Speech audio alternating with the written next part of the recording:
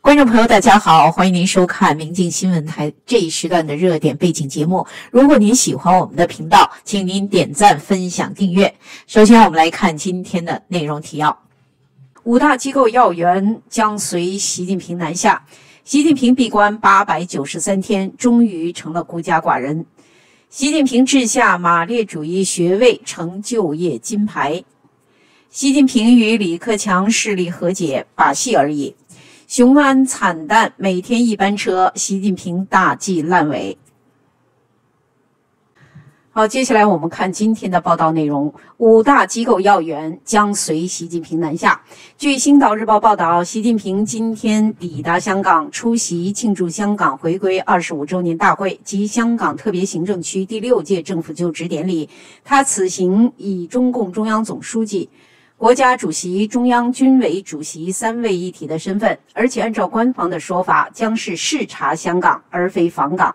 包括一些特区政府高官在内的港人常说领导人访港，这表面与视察香港并无分别，实质上相差甚远。根据现代汉语词典，视察是上级人员到下级机构检查工作，彰显的是上下级关系，凸显的是中央对香港的全面管制权，包括监督权。早在二零一一年八月，时任国务院副总理的李克强来港，新华社已经开始使用“视察”一词。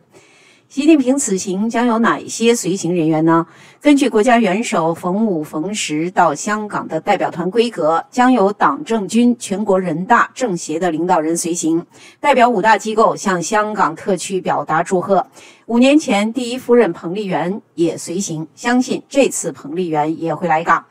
中央政治局委员、中央办公厅主任丁薛祥和全国政协副主席、国务院港澳办主任夏宝龙都定是代表团成员。这也将是夏宝龙出任港澳办主任后首次来港。代表团成员相信还包括全国人大常委会一名副委员长、一名政协副主席。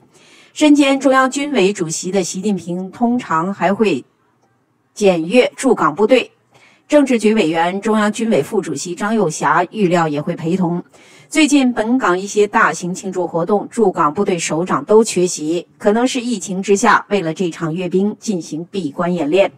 除了国家领导人级别，也会有一些部级高官同行。中央政策研究室主任江金泉前天在武汉亮相，相信也会随习近平南下。按照惯例，其他随行者可能包括公安部长王小洪、中宣部常务副部长李书磊等等。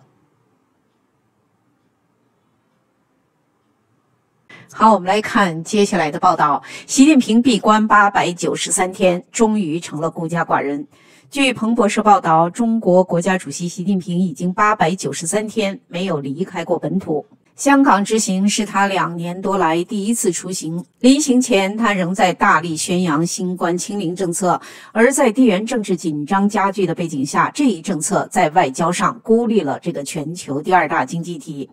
据媒体报道，这位中国领导人将于周四和周五跨越边境线前往香港岛，参加香港回归二十五周年的庆典活动。尽管中国对香港拥有主权，但自疫情爆发时起，香港与大陆的边境就已经关闭。预计习近平将在深圳过夜。自新冠疫情出现以来，习近平就停止了所有的国际旅行。他最后一次出国旅行是在二零二。二零年一月十八号前往缅甸，从武汉封城开始，他坚持一项政策，即在其他国家开放的情况下，通过严格封城和关闭边境来达到清零的目标。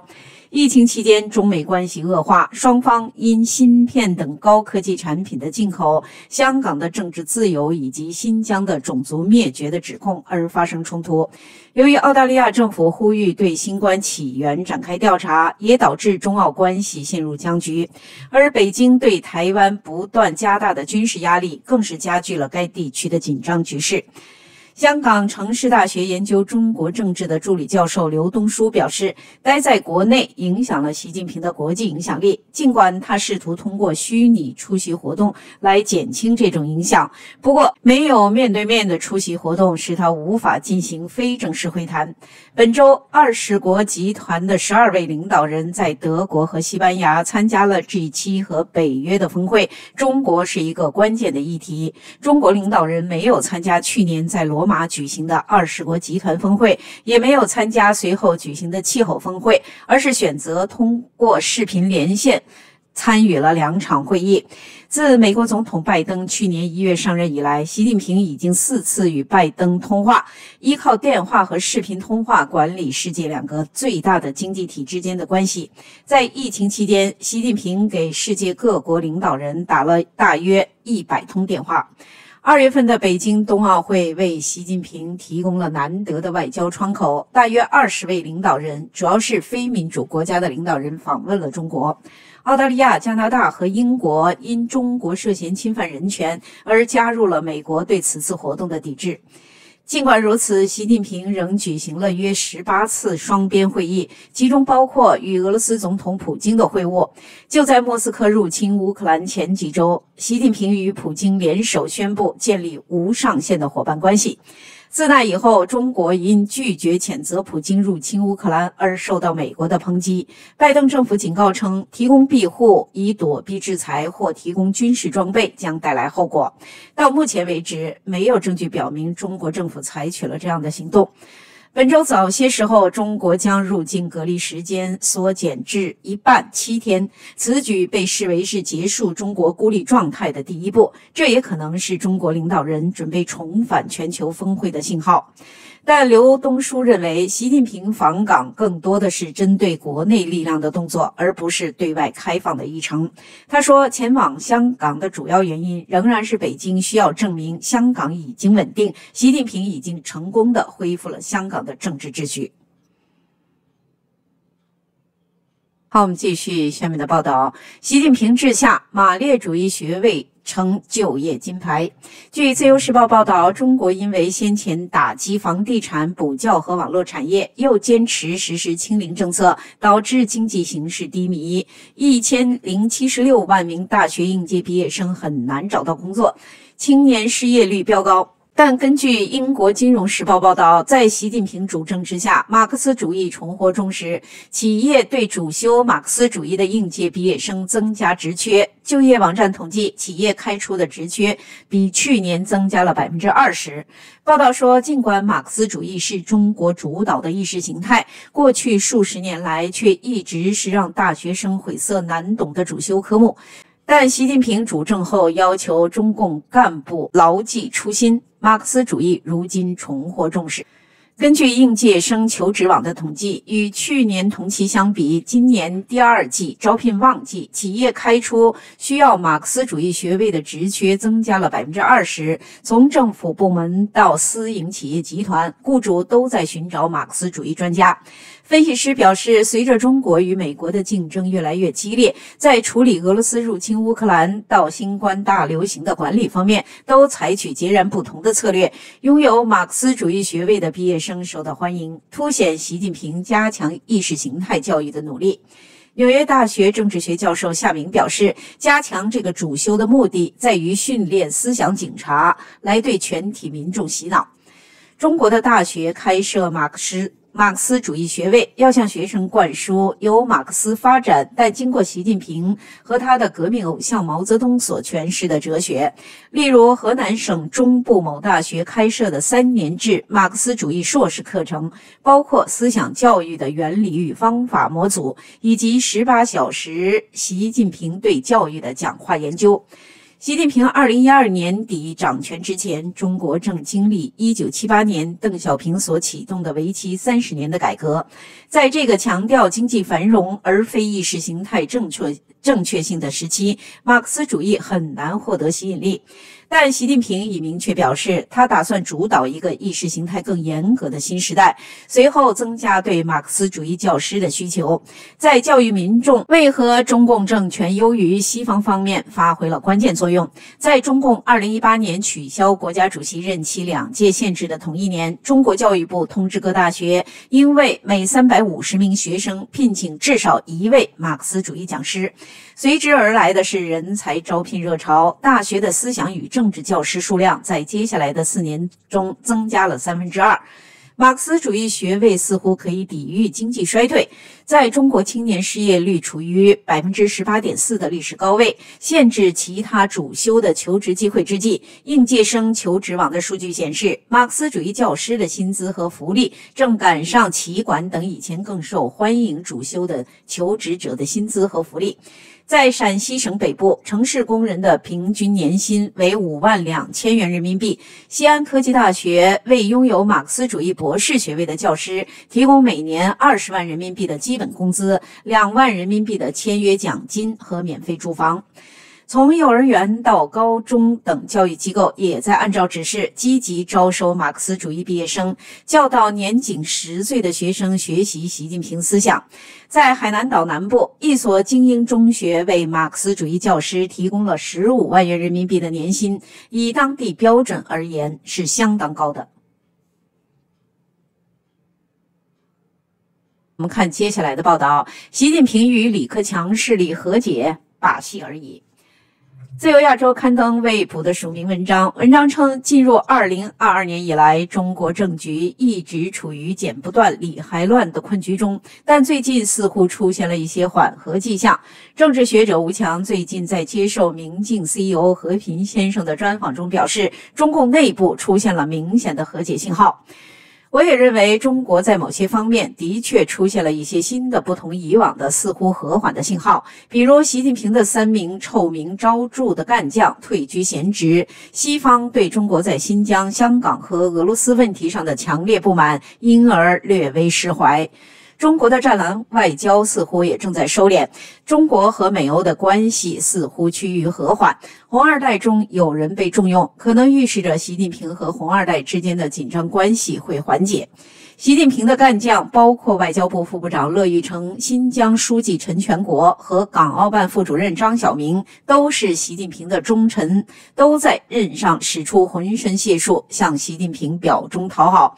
乐玉成就是在普京二月访华时道出中俄关系尚不封顶的名句，这肯定代表了习近平当时的心声，而颇获官媒好评。但此时非彼时，近来中俄关系的不尴不尬让习近平心生烦恼，于是这个自1986年起就搞外交的乐玉成顺理成章的成了替罪羊，被发配去搞什么广播电视的劳神子。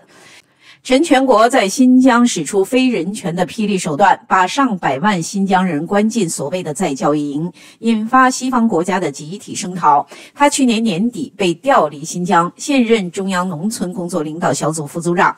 至于张晓明，此公在港澳干了三十六年，本来没什么大本事，只因一贯戮力推动极左政策，为习近平提早收复香港、断送香港“一国两制”立了大功。张晓明在国际上成了过街老鼠，最近被任命为中国政协副秘书长。有人说此举是对张晓明的贬斥。香港作家严纯沟嘲讽说：“这三个部级高官在外交、民族、港澳三个层面以极左面目张狂多时，本以为可以。”邀宠升官，未料习近平的极左政策面临收皮，三个极左马前卒被记齐，意味着中共的大国策正处在全面反省检讨的前夕。中共是不是真的在全面反省检讨，我们不知道。但我们知道的是，西方国家已经体会到中国官方试图传递。的和解信号。最近，中国派欧洲事务特别代表吴洪波走访比利时、塞浦路斯、捷克、法国、匈牙利、德国和意大利等国。据了解内情的人说，吴洪波所到之处都是放软身段，承认中国犯了错误。从处理新冠疫情、实施“战狼外交”，再到经济管理不善等，中国明白他们走得太远了。美中两国之间也出现了些许缓和的蛛丝马迹。六月十三号，杨洁篪与沙利文在卢森堡会谈进行了四个半小时，双方分别用坦诚、实质性、富有成效和坦诚、深入、建设性总结这次会面。就连美中两国国防部长奥斯汀和魏凤和六月十号在新加坡举行的会晤上，双方指着鼻子骂对方是台海地区的威胁，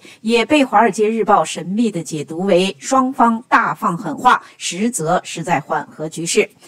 再有，红二代潘岳近日被委任为民委主任，有人说他可能会用美国的大熔炉理念处理新疆问题，有人还得出红二代被重用的结论，或许他会用不同于陈全国的方式治理新疆，但很难就此说红二代被重用。同是红二代，罗点点给马晓丽最近披露的公开信，就直指习近平清零政策的荒诞。尽管马晓丽和习近平的私交曾经不错，在习近平初上台之际，曾率众多红二代鼎力相挺，但罗马二人绝无可能被重用。那么，这些缓和或试图缓和的迹象说明了什么？依我之见，说明习近平在让步，向党内不满他的力量让步，向欧美国家让步，向红二代中原。原本支持他，但现在不支持他的力量让步。为什么让步呢？因为经济太糟，不让步，中国经济就有可能崩盘。中国经济崩盘，习近平依赖的财源就有可能枯竭，社会就有可能陷于动乱。党内不稳，社会动荡，经济凋敝，三者接连而来，习近平根本无法招架，连任就可能破局。所以说，习近平必须让步，不让步，大家一起完蛋，这是没有选择的。根据习近平的心胸、认知、野心及政策的走向和执政的轨迹，他在此时此刻玩点让步的把戏，搞点权宜之计，可能性很大。他这样做十有八九是为了助自己渡过难关。一旦过了难关，只怕他会向认定的集权方向大步迈进。好，我们继续来看下面的报道。雄安清冷每天一班车断了习近平的大计。由中共总书记习近平亲自决策、亲自部署、亲自推动的千年大计——雄安新区，近日再传最新烂尾消息。有中国媒体查阅中国铁道数据，发现相当于六个北京站的雄安站，现实每天只剩一趟班车。据中国自媒体海珠研究院报道，受京冀两地疫情防控政策及雄安新区发展现状影响，雄安站近期每天只保留了一趟往返北京西站的列车。报道提出质疑质问：如果一条高铁线路开通运营之后客流惨淡，这是否是一种严重的资源浪费和资源错配？雄安新区曾被视为习近平的政绩工程。中共官方曾形容，设立雄安新区是以习近平同志为核心的党中央深入推进京津冀协同发展做出的重大战略选择，是一项历史性工程，甚至指雄安新区是习近平心中的千年大计。五年前，中共官方宣传雄安新区计划时，曾夸下海口，声称要斥资三十万亿人民币打造一座未来之城。雄安站站场总规模十三台二十三线，总建筑面积四十七点五二万平方米，相当于六个北京站。二零二零年十二月启用之时，中共党媒曾以“中国高铁新名片”来形容雄安站。由于相关消息在政治上相当敏感，中共网管对这条消息似有特别安排。现在在海柱研究院的微信账号上，相关资讯仍然存在，但在百度搜索“雄安站每天只剩一趟车”，却无法搜到这条消息。对于雄安站沦为大白象工程，翻墙看到消息的中国网民纷纷做出冷嘲热讽。有网民一语指炸一炸，改造成末日废土主题公园，或是当影视基地拍《终结者》续集多好。也有网民说：“你不懂这千年大计啊，一千年后就满负荷运转了，不信你到时候再看。”谢谢您收看《明镜新闻台》，敬请您点赞、分享、订阅、推荐给您的亲友，恳请您点击节目内容简介里的 PayPal 链接支持我们。